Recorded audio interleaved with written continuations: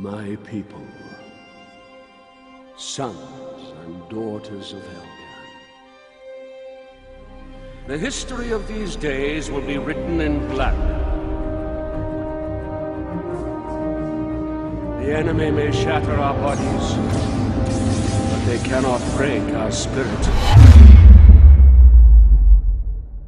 They will know Helghan belongs to the Helgen.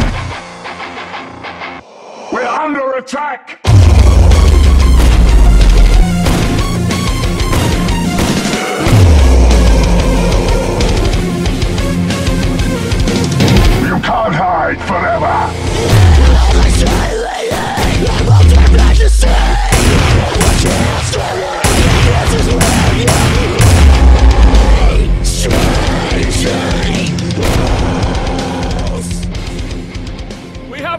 This great nation from nothing.